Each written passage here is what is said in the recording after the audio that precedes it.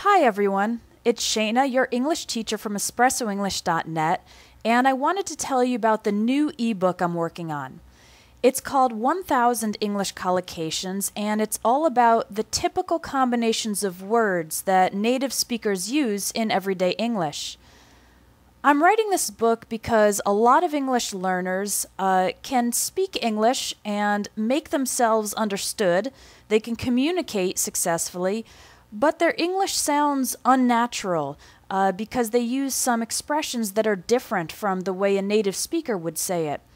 So, this ebook will teach you 1,000 expressions and phrases uh, that will help your English sound more fluent and more natural.